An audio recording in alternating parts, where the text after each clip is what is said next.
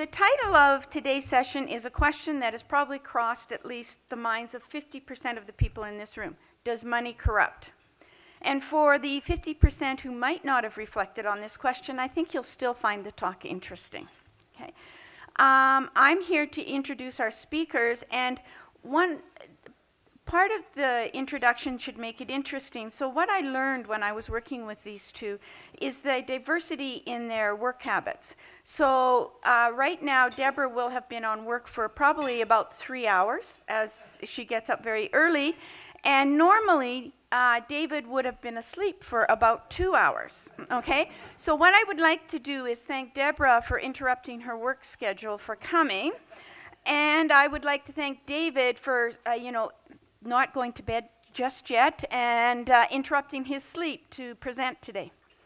All right, so uh, David is uh, our, our academic for the day. And he ha has a joint appointment between philosophy and Haskayne. He is a research fellow in the Haskayne uh, Canadian Centre for Advanced Leadership in Business, and he manages the Integrity Network in Calgary. He has a PhD in business, but uh, his feet are still on the ground, so he'll do a great job today. Deborah um, has a joint English economics undergrad from the University of Alberta and an MBA from Queen's. Uh, Deborah's first passion was sports journalism, but she uh, reluctantly became, and some might say, the leading Canadian business journalist in Canada. She writes for the Financial Post, Globe and Mail, Calgary Herald, and she's on regularly with the CBC. So what I'd like to do now is have David start with his uh, uh, discussion on this. Right. Hello. Thank you all so much for coming and for getting up at what for me is an unthinkable hour. Philosophers die if you make them get up this early. So Descartes had this famous job where he got a gig with Queen, Queen Christina of Sweden. She wanted to take philosophy lessons at 4 o'clock in the morning. He took the job, he taught her for three months, and then he died. So, I'm delighted. So I'm risking my life to be here with you today. Uh, so I'm delighted to be here. Uh, thank you all so much for coming, and I want to talk about money. So I bet that for everyone in this room, there's something that you wouldn't do no matter how much I paid you. Now, let's be clear about this, because we might discover, if I could get the research funding for it, and I had a giant pile of money, that there are some things you would do if the price was right. Say I offered you $1,000 and you said, no, Dave, I'm not doing that and then say, okay, $10,000. And you say, no, still not doing that, right? And they get to a million. Nope, not doing it. And then I say, okay, $1.5 billion. And you say, okay, I'll do it. That's fine, right? Then we've discovered that you have a price for some things. Um, and you might be surprised to discover what your price is for some things if I had a pile of cash there to offer you. But as we continue this exercise, I suspect that we might get to something probably something terrifying and disgusting that I would suggest to you and go, nope, still not at a million. No, still not at a billion. And then I keep going and giving you higher and higher numbers, and the pile gets bigger and bigger. And then you're going to be the richest person in the world if only you did this one horrifying, disgusting thing. And you say, you know, you can just stop, Dave, because no matter how much money you give me, I'm not going to do that. It just wouldn't be worth it. That's the kind of thing that would change who I am, it would ruin my life. There's no amount of money you could offer me that would make that worthwhile. Um, and when we find that thing for you, whatever it is, then we found something that for you is beyond price. Uh, it's something that you wouldn't do no matter how much money I offered you. Um, so I'm not going to give you examples of these sorts of things because you're eating, and they are typically disgusting and horrifying. Uh, but you might discover, you know, think about it for a minute, reflect for a moment on what sorts of things you wouldn't do, who you wouldn't betray, what you wouldn't be willing to undergo for any amount of money in the world. And when you find that thing, um, then you've discovered something interesting about money. You've discovered that it has a limit. Its power is great. In fact, maybe we'll discover that for a billion dollars you'd do something you thought you never would. My colleague Justin would do almost anything for 200 bucks. So, we might discover that there are some places where you do have a price. But there's a limit to what money can do. There's an upper bound at what the power of money has for you. And that's a nice way of framing what I want to talk about today. Because money is a tool. It's a tool we've invented, and it's really, really good at some things, but it doesn't apply everywhere, and its powers are great and vast, but they're not unlimited. Um, so before I dig into the research, let me just say one other thing by way of clarification. Uh, you might be thinking to yourself, like, okay, Dave's a philosophy professor, he's also got this job in the business school, that's great, but like, Dave is a philosopher, he doesn't like money, and this is going to be a screed about the bitterness about money, because Dave doesn't have any. If he knew how to make money, we'd be getting a very different talk from him right now, right? Um, and I want to clarify that because I don't hate money. It's the center of my research. Uh, I'm currently teaching a class at the university called The Philosophy of Money, and I think it is one of the most fascinating subjects that we could talk about. That's why I'm joint appointed in a philosophy department and a business school, because I like to talk about money and what it shows us about value and ethics and all the rest of those things. So I don't want to come off as against money. There's a long tradition of philosophers who are very big fans of money. Adam Smith himself was chair in moral philosophy at the University of Glasgow. Aristotle, very big fan of money. So I don't want you to get the impression that I'm beating up on money. I just want to think critically about it and show you the powers that it has and the powers that it doesn't have. So to that end, I want to show you one and only one slide. Um, it'll be coming up in just one second. Let me tell you about it before it comes up. Don't worry. Uh, so there's some wonderful research by two economists, uh, Deaton and Kahneman, one of whom has a Nobel Prize. And they did this wonderful study. You probably heard a little bit about it in the media. It was called the $75,000 study. So they had a sample size of 400,000 people in America, and they gathered all of this data. And they asked them all sorts of questions about their well being and then correlated it with all sorts of other things. Uh, one thing they found that being lonely is one of the worst things for your health as a result of this research. But they had this wonderful paper that correlated well being and life evaluation with income. And what they found was this. So here you can see that this is the curves that they came up with. So you'll notice that three of those curves there, the stress free, the positive affect, and the not blue, those all go gently upward until about $75,000 annual income, and then they all kind of go flat. So let me tell you how they got to that result.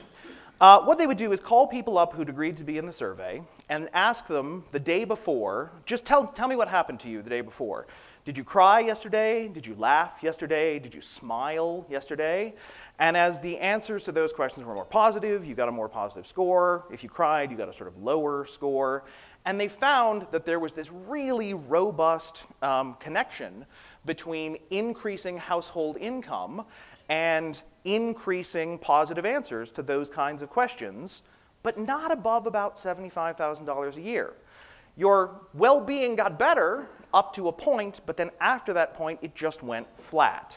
Um, and I can attest to this. I have personal experience because I have lived down at the bottom of that curve because I made the mistake of going to philosophy graduate school. So while I was in philosophy graduate school, living down there at the bottom of the curve, I got myself a speeding ticket. That speeding ticket wiped out my grocery budget for the month. And as a result, there was a lot less smiling, there was a lot more crying, and there was more loneliness because my friends would call me up and say, Hey, do you want to go out? And I say, I can't, speeding ticket, right? But then, miracle of miracles, I got a job. I'm a philosopher with a job, right? So now I live higher up on the curve. And as a result of that, a couple years ago, I got a speeding ticket, right? And I got a Calgary speeding ticket, so I didn't even know I'd gotten it. I got a letter in the mail discovering that I had a speeding ticket. And then I went, oh, I'm to pay, all right. And I paid it, and I didn't notice it anymore. I was shielded from a kind of suffering because I had some money. Um, but it turns out that the research indicates, and I'll never know because I'll never be up on the high end over there because I'm a philosopher, uh, but the research indicates that that experience isn't going to get any better for me. That once I'm able to pay a speeding ticket or buy my dinner or pay my rent and be fine, fixing those problems won't make me any better in terms of how I report my smiling, my laughing, and my loneliness. So money has this power to buy something, right? It can actually buy me out of some suffering and make me smile more and cry less.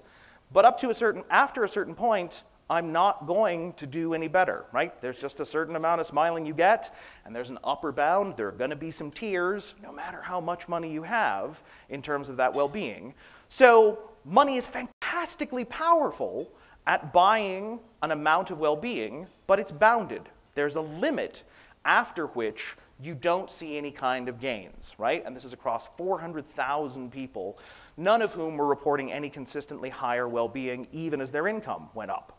Um, now you'll notice there's a darker line there. There's a fourth line that you might be going, wait, there's something that's going up there, right?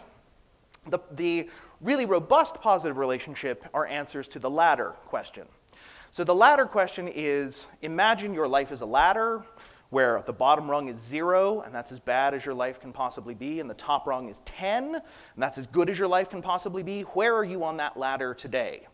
Well, it turns out that answers to that question go up in almost a linear fashion, right? A really nice relationship between those as income increases, uh, and those questions will actually go up. Um, so now you got to ask yourself, well, what really counts as happiness, right? If I report that I'm a seven, but I'm still crying as much as I was when I was a six, has my life gotten any better? I don't know. That's philosophy. That's a philosophical question. Come take my class, and we'll talk about that. Um, but what's most important for me is that there is a real palpable power to money. It does look like it can purchase you some well being, but at a certain point it stalls out. There is a limit to what money can do, and that's the crucial thing to remember um, for the balance of my remarks. So I'm just going to let that sit there, but I'm not going to talk about it directly anymore because noticing that there is a limit to the power of money is what I think helps us understand how we manage to corrupt ourselves. So we can corrupt ourselves by forgetting that money has uh, a limited kind of power, and we can deceive ourselves into believing uh, that we can forget values of our own that we ourselves hold. Let me give you an example. There's a very famous study by Richard Titmuss called the gift relationship, which looks at blood donation. So Titmuss was working in the United Kingdom, and he was looking at increasing the amount of blood supply for transfusions and surgeries and things like that. Um, at the time, the United Kingdom had a purely voluntary system. The only way you got blood was through voluntary donation, and people were considering offering a financial incentive to increase the amount of blood supply available. The thinking was very obvious. Well, we already have X amount of blood from people who are just willing to give it away. Imagine how much more we will have if we start offering people money in exchange for their blood, right? That's going to motivate the people who are already motivated even more, and it will pull all these people out of the woodwork who haven't been donating yet. So the idea was, well, if we add a financial incentive, we're going to get an increase in the blood supply, which is great. This is what sort of economics would predict. This is fantastic. But Titmuss argued very compellingly that if we offered a financial incentive like that, our blood supply would go down and it would be worse. Because when you offer a financial incentive for this, you change the nature of the transaction. So when I'm thinking about whether I ought to donate blood or not, I'm thinking to myself, okay, if I'm thinking about it in terms of the gift relationship, I'm thinking, okay, if I go spend an hour and a half two hours and I get a little woozy, but I get juice and a cookie, right? What do I get out of that? well, I get somebody who doesn't die during surgery, or I get to help a hemophiliac who needs a blood transfusion, or whatever, right? I got to help somebody. And isn't that worth 90 minutes of you know, gentle wooziness and a little pinprick? Of course, I'm perfectly willing to do that. That's what that's how people understand it when they're thinking about it as a gift. They're thinking about it in social, non-financial terms. But when you offer someone a financial incentive to do that and instead say, hey, we'll give you $25 if you come and donate blood, right? When you conceive of it as a financial transaction, you might think, okay, so I'm going to spend about two hours doing this, $25, $12.50 an hour. Mm, my time is worth more than that. I'm sorry, I can't do this. That's, I make way more money than $12.50 an hour. There's no way that this is an efficient and sensible use of my time.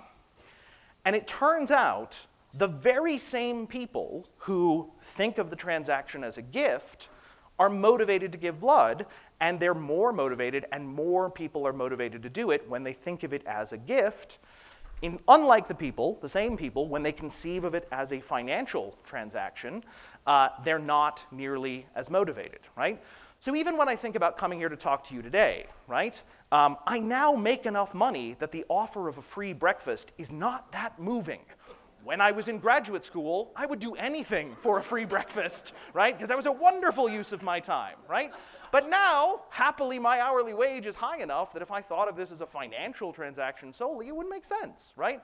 But that's not what I'm here, and that's not what I'm here trying to do. And all of that has to do entirely with how I'm framing the discussion. So that's the crucial thing I think that we have to remember here. Sometimes the difference between people who think in financial terms and people who think altruistically, this is conceived of as different people in opposition to one another. What it really is, is all of us conceiving of things just with different frames of reference. So when I think, right, having just given you the example of, am I really here just to get a free breakfast? What am I doing with my time? It's so early in the morning, right? When I think of it as a financial transaction, it simply isn't as appealing and it doesn't make as much sense as when I think about it as something that's part of my mandate as a professor and I get this opportunity to talk to you and I get to do all of these good things and talk about interesting stuff. That's really motivating and that's a value I actually hold. When I conceive of it in purely financial terms, I forget values that I myself hold, and that's the danger of thinking financially. It can, if we let it be the only value that we care about, make us forget about the things that we ourselves value. And money is a fantastic tool. It's really good at achieving all kinds of important ends, but it has a limit. It isn't good at purchasing well being indefinitely. It isn't good at getting us to conceive of our blood donation transactions in the right kind of way.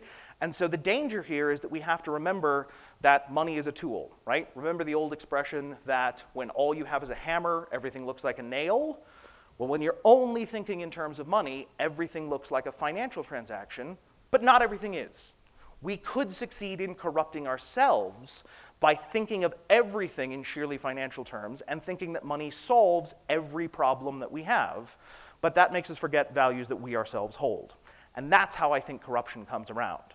Now, you might well be thinking, okay, that's all very nice. You can't even afford proper dress pants. You're just a philosopher. Why should I listen to you? you you're a philosopher and you have to think about money in the abstract, right? You've never even had any contact with it. Well, Happily, I have a good friend who used to work on Wall Street and has actually had contact with money, and who I'm now going to bring up to the stage to speak to you now uh, about her experiences on Wall Street and elsewhere. So let me invite up Deborah Yedlin. So, good morning, everyone. This is an intriguing topic for me. As kids, we are taught money can't buy happiness. As adolescents, we listen to all sorts of music that tell us otherwise. I remember listening to Pink Floyd, the song about money. Grab that cash with, hand, with both hands and make a stash. New car, caviar, four star daydream. Think I'll buy me a football team. Or how about this one? In 1960, the Beatles released a song called Money, and it was re later re recorded by, um, by the Flying Lizards. The best things in life are free, but you can give them to the birds and the bees. I want money. That's what I want.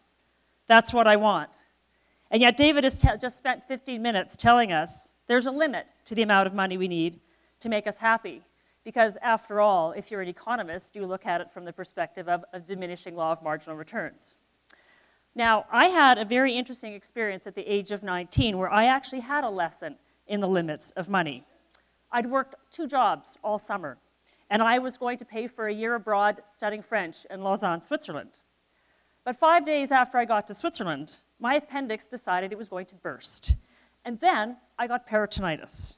I was in the hospital for almost two months. And it was the time of Ronald Reagan, David Stockman, and trickle down economics. And the Getty Trust was being litigated. To this day, I remember reading about that in the International Herald Tribune, lying in my bed, hooked up to all sorts of drips, and thinking, I could have all that money, and I still couldn't get out of bed, much less have a chocolate bar, which is what I really wanted.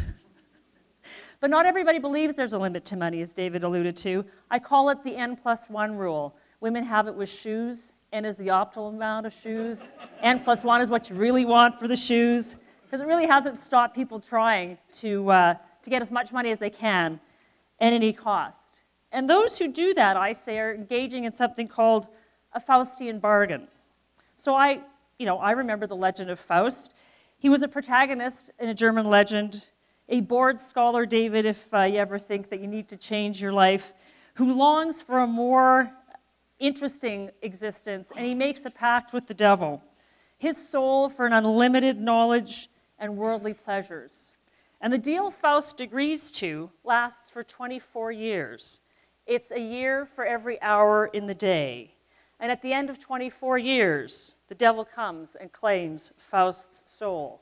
He's damned to hell for eternity. When I was thinking about examples of Faustian bargains, I came up with three ideas literature, finance, and sport. As an English major, I went right to, great, to Jay Gatsby, who grows up poor in North Dakota, falls in love with rich Daisy, but she marries Tom Buchanan because her parents don't approve of Gatsby. And everything he does after the war is aimed to get Daisy back.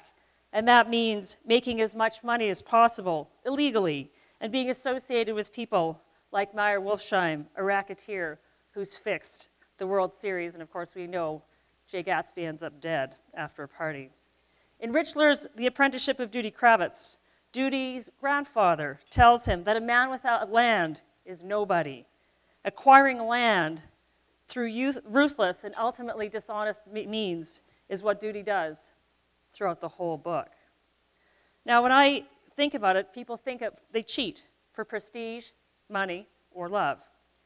I started at Goldman Sachs at the tail end of the insider trading scandal in 1987. By then, there were a few people that had been charged with um, insider trading. You might recognize this guy. Ivan Boesky,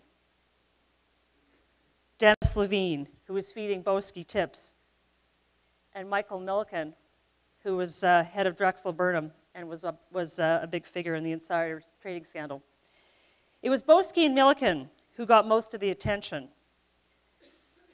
Boesky was a Wall Street legend with an apparent uncanny ability to make calls on merger deals and make a gazillion dollars doing it.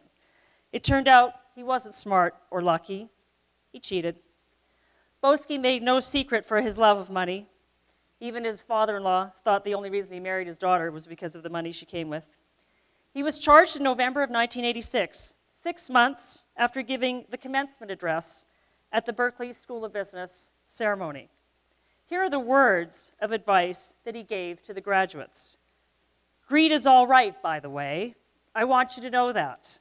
I think greed is healthy. You can still be greedy and feel good about yourself. Those words, of course, were immortalized in the movie Wall Street by Gordon Gekko. Greed, for the lack of a better word, is good. Greed is right. Greed works. Greed clarifies and cuts to the essence of evolutionary spirit. At one time, Boesky was worth $280 million. Now he lives in obscurity in California. Michael Milken has reinvented himself as a philanthropist, supporter of cancer research, and runs the Milken Institute, a nonpartisan economic think tank. Last December, Michael Milken was on the cover of Forbes in its special philanthropy issue with Malala Yousafzai. Does she even know what a junk bond is? Even though his foundation, which was established in 1982 before the insider trading scandal, and he's given away $500 million in the last 40 years. Can his soul be redeemed, unlike Faust's? But investment bankers, and I, as, as a former one, I say this, aren't the only ones in the pursuit of the almighty dollar at any cost. Athletes, for some reason, we have athletes on a sustainable pedestal. They are our modern day warriors who win medals and championships, set records, and often compete, complete unbelievable feats of physical fitness.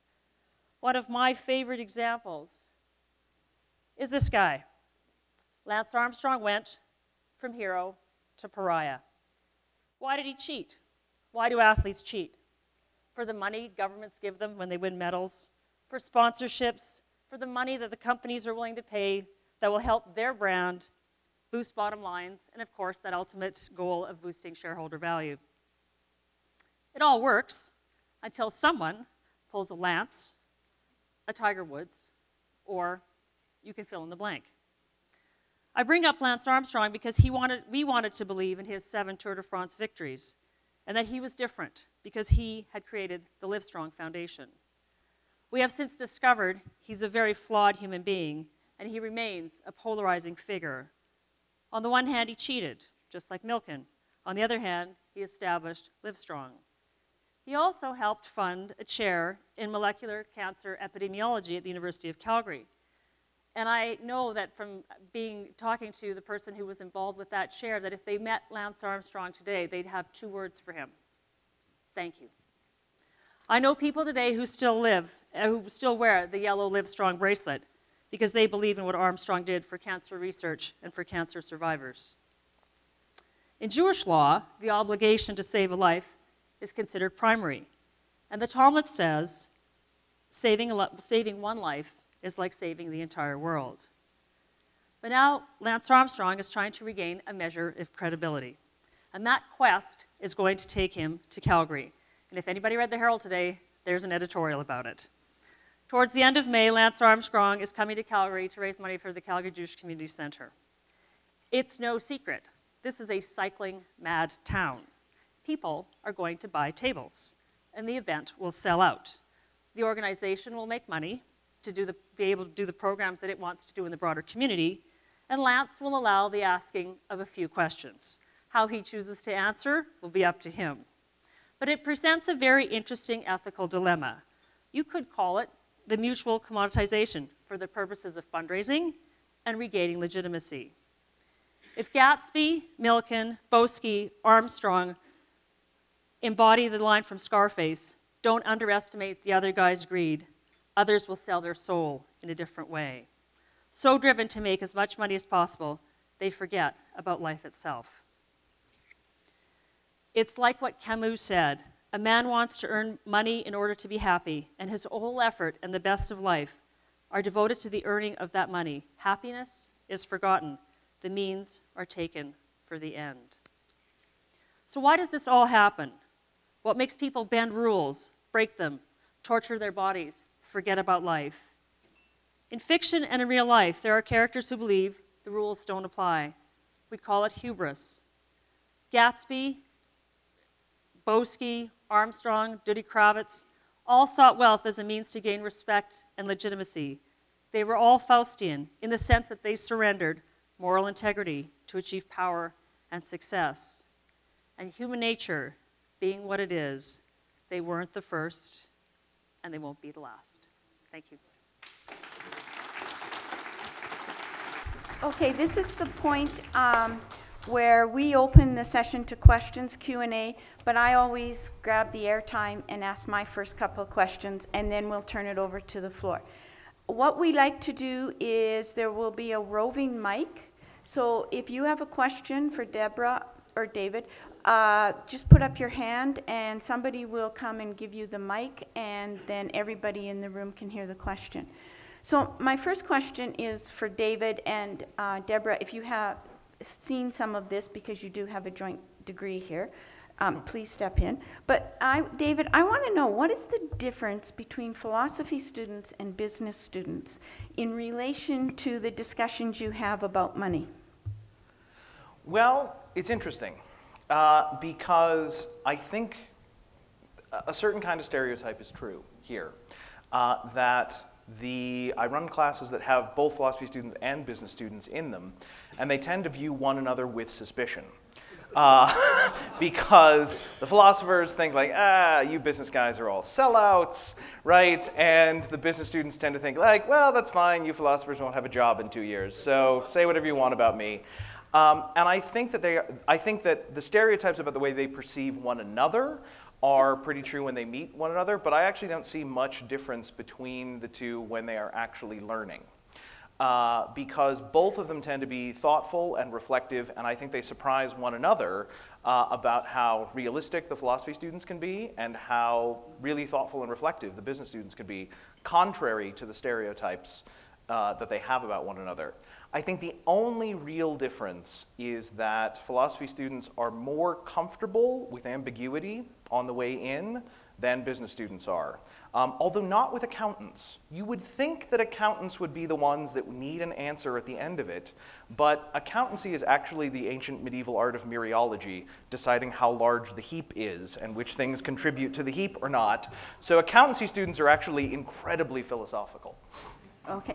Deborah, you have an MBA, you have a degree in English. Do you have any thoughts on that? Well, I think what David's talking about is the, the, the really the importance of David's class and of having both students in the class is something, a lost art that we're not really dwelling on and really teaching our students as much of as we need to today, and that is the ability to intellectualize an argument and to really understand both sides, argue both sides, not necessarily believing either side, but really understanding the other perspective, because I think that makes for healthy discussion, and it actually makes for good policy and good strategy when you come when you look at it from a business standpoint. I think uh, we don't do enough of it, and it's really important that we have that cross pollination. And certainly, anybody who's read uh, Daniel Pink's book, A Whole New Mind, recognizes the importance that you just to have sort of one discipline and not have the integration of creative processes within that course of study, whether it's fine arts or philosophy or English, um, is actually means that organizations and individuals lose as a result of not having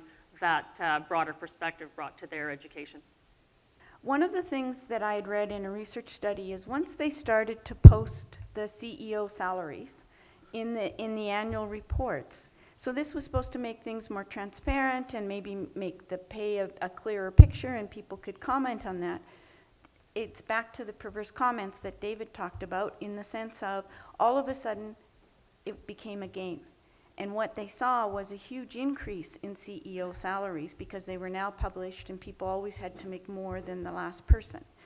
So, um, in particular, Deborah, have you seen much of this? Have you, do you think this is what's happening? It's become a game as competing? Well, we hear it all the time. You know, if you're looking as a company looking to recruit somebody and you're trying to figure out what you have to pay them in order to come, what you have is a bevy of consultants who come and they do a whole comparison of all the uh, salaries of the people that you might want to hire and what they're making. And if you don't offer something along the same lines, that's uh, you know you're not going to get the candidate you're looking for. What concerns me, so that's that's the private sector, but it's happening in the public sector, and I think that's even more challenging because you have these sunshine lists and everybody thinks that's really good because it's all about transparency and all of a sudden the net effect instead is going to be that you're going to have uh, the caliber of candidates that are going to be starting to come through are not going to be as high because you have this public pressure to bring down the salaries because everybody thinks that what people are making in the public sector is too much already. And so, what kind of candidates are you going to attract into the public service, whether it's elected officials or into the bureaucracy? Um, I think this works against society both at the high end in terms of um, uh, the corporate sector, and it's going to work against the broader community as a result of the kind of pressure that will be brought to bear in terms of how people are, are considering the public sector as a viable option for them. So I, I, both sides, not good.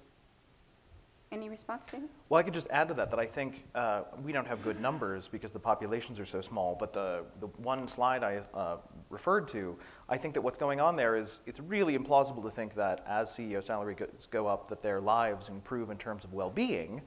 But if what, if what does improve as your salary goes up in an almost linear way is how you conceive of what your score is, right. if, you're, if you're asking yourself, well, how am I doing? What score did I put up this year? It's so natural to just look at the one most relevant number to you, which is your salary. And I think part of what's going on there is that people, I mean, Donald Trump famously said, after a certain point, it's just keeping score. So I was thinking I had a solution to this, is not only would we post the CEO salaries, but based on De what Deborah's examples are, we should also post their contributions, their charitable contributions. So we can do a comparison. Here's your salary, here's your charitable contribution. Okay. All right, I'd like to open it up now to uh, the roving mics. If people have a question, there's one at the back. Okay. Well, thank you, David, and thank you, Deborah, for your insights. Um, I have a question for, to either one of you, and that's how would you define greed?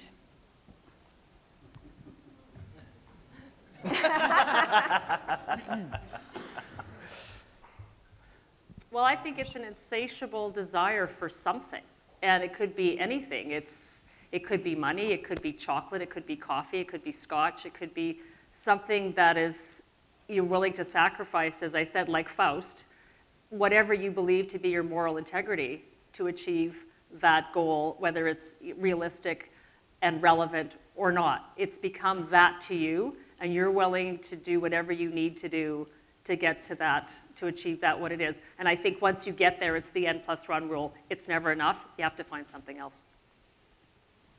I think I completely agree with that, but I, I think I would put two parameters on it. One would be that greed is a desire for wealth that's unnecessary, so it's a desire for more than you actually need uh, relative to what your needs are, or it could be desire for things that are damaging to one another.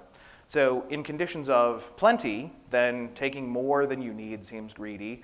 But in conditions of scarcity, taking so much that nobody else can have any or so that other people are damaged in the process, that even if you're not quite, in, quite getting everything that you need, that could also look greedy, I think.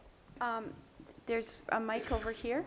David, I'm wondering if you're familiar with Charles Eisenstein's Sacred Economics? No, please enlighten me. No. Um, so essentially, he puts forward this argument that money kind of came about as a system to enable uh, more efficient transferring of gift.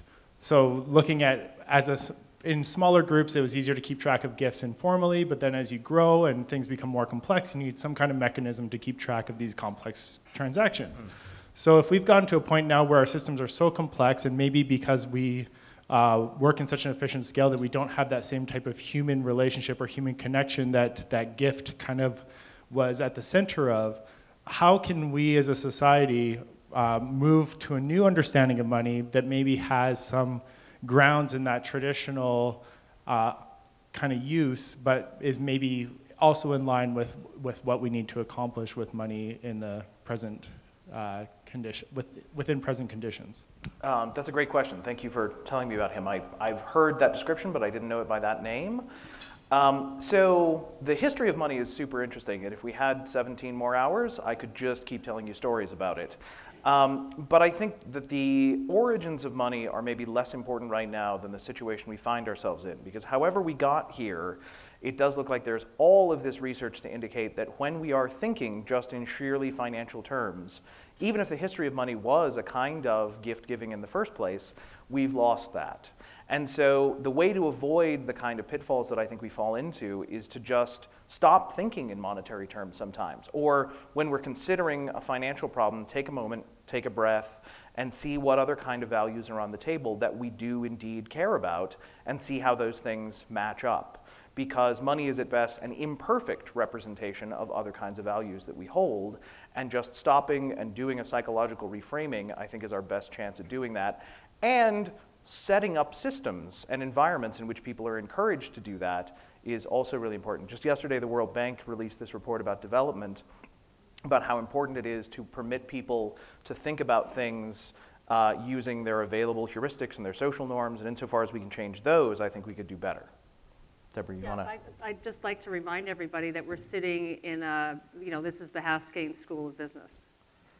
And money enables people to do other things for the community. And I would argue that it, that's part of, that's a piece that's not necessarily well entrenched in society today as, as it needs to be. Dick Haskayne has set an incredible example for many people in this community, as have others.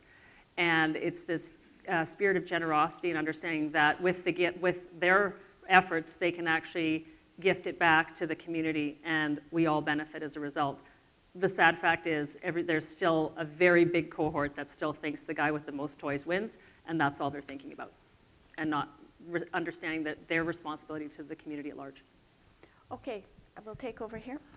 Um, Matthew Arnold in um, Turn of the Century, when he's talking about uh, uh, the, the, growth of science and industry and the death of religion, and he said in the stanzas from the Grand Chartreuse, uh, one uh, wandering between two worlds, one dead, the other powerless to be born. What do you think about modern day religion? Do you think they're more concerned now about market share and profitability rather than uh, uh, preserving the, the religious values of, of the past and having a moral compass? so um, I have a few thoughts on that. I think um, um, I've often thought about this in the context of, uh, in 1986, the insider trading scandals and some of the, the scandals since, whether it was Enron, WorldCom, you know, anybody else who's we've, we've seen do the perp walk, and someone, people who have egregiously defrauded uh, others. It occurs to me there's a, there's a couple of things going on. There's a, a crisis in faith that's taken, that's taken root in society as a whole, I'd say, over the last 50 years. But we've become a very relative society. When you think about um, earlier times, and I, I, often thought, why is it that in the 40s, 50s, 60s, we didn't have corporate scandal the way we've had it in the 80s, 90s, and we will continue to have it. And part of that came back to this sense of absolutes. As young people growing up post World War I, Depression, post World War II, Korean War, there were some very basic decisions that were made every day. How am I going to eat? How am I going to survive? And Dick Haskayne told me a great story during the Depression. His dad ran a butcher shop in Gleichen, Alberta.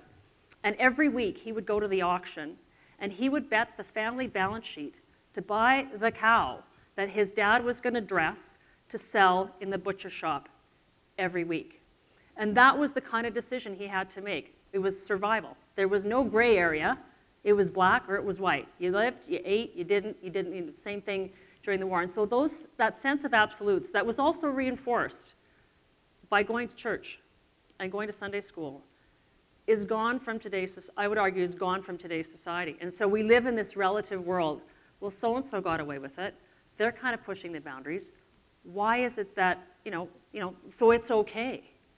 That sense of absolute's gone. And I think that sort of goes back to this, this value system in society that causes people to push boundaries to limits that, um, that we didn't see in the past. Um, so that's a few of my thoughts. I would just add one thing to that, that um, money has this way of commensurating values, that we think if you can give a financial value to everything, then you can compare them and make trade-offs among them. And in a way that functions as an absolute when you're inside of it, right? So a great example of something somebody might not pay any money for is to give up their faith or give up their biggest, right, their, their deepest values. And if you found out that you could get your priest to give up his faith just at the right price, right? That if you say, oh, well, surely 5 million, 10 million, and then you get to 25, it's like, okay, whatever. then that seems to undermine that value, but it's perfectly rational if it's the right kind of financial transaction. So, okay, we have a question over there. We'll yeah. go to you next. Um, so I, I, I, thank you. That's incredible. And I'm thinking about a couple of things. I don't know if this relates to greed. I don't know if it relates to social legitimacy. But the question is around debt and it, it's a story. I ran into someone the other day, and this is what she said. She said, I was walking down the street and I encountered a homeless person. And he was asking for money, and I gave him a dollar, and he said, Thank you, I'm broke. That has helped. And she said, As I continued down the street, I thought to myself, What makes me any different? Because I'm living on my line of credit.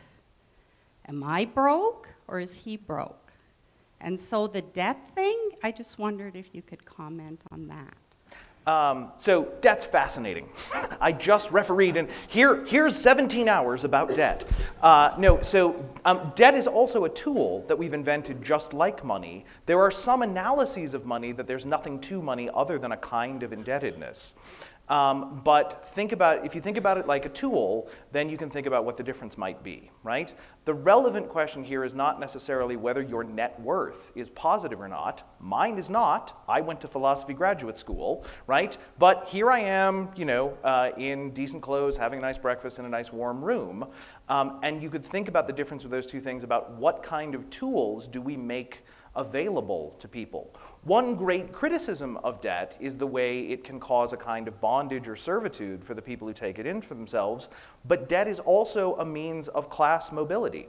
If your family can't afford to put you into school, but you can take out a loan and pay it back over that time, then that offers a tool to someone to improve their lives that they might not otherwise have. So I think, I don't necessarily think that money and debt are identical. But I think that understanding that they are both tools that we have invented and we grant to some people and not to other people is a way of explaining what's going on there. I just wanted to add, just your, your, your comment reminded me of, uh, my father was in New York when I was living there, and we went for a walk down the street, and uh, this is 1988, and there were a lot of people, you know, there were people begging on the street. My dad started giving, every, you know, she'd beg and give money. I said, Dad, don't do that. You're gonna, you're gonna have no money in your pocket by the time we get to where we're going. And he said, but according to Jewish law, if somebody asks for money, you have to give it to them. Um, but I think, you know, just to talk about, just to add to David's point, it's, um, it's also a way, it's a tool to advan to accumulate more wealth, right? You weigh the opportunity cost of, do I take out a loan for 2%? And if I can invest it and make 4%, I've made, you know, so, I mean, that's, we've invented debt as a way of enhancing our, our wealth, as a vehicle to enhance, with which to enhance our, enhance our wealth, whether it's by going to, being able to go to school and earn a job that pays you more money, or to buy a stock that you otherwise couldn't find the cash to, to buy. The whole idea behind microfinance is about extending debt to people who otherwise couldn't Right. access it. So- So And it have- works, right? Mm-hmm. Well- Default rates on, on microfinance Yeah. loans are very, very, very small. Um, Sorry, you are? Careful. So here's my question on, and that was a great graph you had, David, on the low end, and always, uh, when we're talking about the low end, it's the fear, the fear of starvation and the negative side. When we go up to the top end, somehow the framing turns around to number of toys and, and all on the upside. So here's my uh, question. Have you ever analyzed, either one of you, the problems we have in the top end, let's say like escalating salaries, from a fear or from a negative perspective. And let me frame it this way. I, I truly believe, because some of the hardest working people I know are making way more than they have to, and they know that. Uh, why do they do that? Because it is public and because you don't want the embarrassment of uh, coming out there with a lower number than somebody who's, you know, it's actually even hard for the corporation. Your CEO's making less than others. And that actually drives things up. How do we get out of that escalation? If that's true, if you at least look at it or consider, it's not just piling up the number of toys, but most uh, senior people I know who are very wealthy, one thing they can't afford is to be embarrassed and to be made to look bad. So, how do we get out of that loop? That's uh, a really good question. Um, I'm going to take it to a completely other end of the spectrum. What, it, what strikes me is, um, and this may be completely off track, but I'm going to try anyway. Public servants in the United States, ambassadors, dollar salary. And I think uh, we have this um, tendency in society, there's a price quality correlation. If you're not paying a lot of money for something, it's not worth anything, it's not that good. And if you're not paying a high salary for somebody, they're not that good. And we have been, we've become stuck in that, in that mentality. Corporations have branded products, we buy into that brand and we pay ridiculous prices for those brands to buy those things. Some people do, some people don't. And the same thing has happened in the executive ranks, I would argue, uh, throughout corporations. And there is no sense that you can be very effective, very bright, and not, not, not have to be paid, you know, the, the big bucks to do what you're doing. Uh, I, it's a societal value and it's a corporate uh, value. It's the way investors look at companies. Everybody's bought into this ethos of if you're not being paid a lot of money, you can't, you couldn't, you know, it's that price quality correlation, right or wrong. I. I love the word embarrassment that you used with this um, because embarrassment is socially constructed. Um, currently, it would be embarrassing for me to be wearing sweatpants and no shoes. Um, but that's just a decision that we've made. And maybe in another culture, right, in Silicon Valley, you can't wear a tie. That's a giveaway that you're not really serious. But that's all just contextual. And it's within our power to decide what we honor and what we praise and what we shame. And if we just decided that the most honorable and impressive thing about you is not your salary, instead it's something else, then it wouldn't be embarrassing to take a hit in your salary if instead you were doing a thing that we cared about. If you stood up and said, No, I'm very proud of the pay cut I took, or I'm perfectly happy about that because look at what happened over here and there's this other important social value I have, then it wouldn't be embarrassing. And I don't know exactly how we make that transition, but it's within our power. It's not a fact that we just have to negotiate around. Well, the other thing I wanted to add too is, is how many people look at somebody and say, wow, that person has a lot of money. they must be really smart. We ascribe a value to them that may or may not be true, and many times it's, they're not as smart as you think they are. Um, sorry, but it's, it's, it's, you know, that guy's made a lot of money, that woman's made a lot of money, must be really, really smart. That's a value that we, like I said, we, we ascribe, ascribe, to them, which is not necessarily the case. Okay, so I'm going to respect the Haskayne hour promise, but there, somebody who's been waiting very patiently, he hasn't got a mic though, right? Yeah, okay. Thank you. Uh, really interesting framing of the problem. So my, interpretation is that we've lost connection between our personal values, value from a dollar, and value of a dollar. Uh, given we've had all this time and great understanding of money, uh, are we any better off in trying to make better decisions than we were 20, 30, 2,000 years ago? And how do we get better? Can I talk about it in the context of the Alberta budget? We haven't learned anything because if you want to talk about it in the context of Alberta finances, we haven't learned a thing over the last 40 years in terms of how we think about money, how we think about it in terms of um, saving versus allocating expenditures. We arguably have just squandered a huge, huge gift of resource value, um, and next week we're going to find out how badly that squandering was. So you're right, we've lost the value of a dollar and from a dollar, and there's nothing like adversity to teach that lesson for another generation because we seem to have short memories um, about these kinds of cycles. I think we are getting better generally. not. I'm cynical. Uh, I won't. I'm American. I'm not going to get myself involved in because you know America's economy is totally fine. Um, Can we talk about the debt thing? um, but I, I, actually think that one, you know, this is going to look self-serving maybe, but I think one thing that we can do is research and think more carefully about money, because the science of money is really only about 250 years old in its in its given form, right? If you think capitalism started really genuinely with Adam Smith in the 1750s, 60s, or whatever, um, Deborah doesn't. I think that's a very plausible view. But started with the Romans. We've well, so that's the very kind of question we need to look at, yeah. right? Because what kind of things are we describing that are, you know, ironclad economic laws? What kind of things are happening are sort of, you know, socially constructed social facts? What things can't we change and what things can we change? Um, and I think there's still lots and lots of research. There's lots we just simply don't know about that. And so, right, the, the study, the $75,000 study, that's only four or five years old. And that was real news, right? Prior to that, I think, I, I, thought, oh, well, surely my life just gets better the more money I get. And it looks like we've discovered that, well, that's simply not true. So the more we can learn about this tool, and the more we remember that it is a tool and what we want to use it for our values rather than it simply being our value, that's the thing that we sort of have to remember. Because it's so easy to think that we are that economic laws are just like natural laws, and you couldn't change them any more than you could change the law of gravity. Maybe that's true in some cases, maybe it isn't. Knowing the difference is going to be fantastically useful for us. And it, it requires a very, very hard examination of societal values. Thank you. Thanks.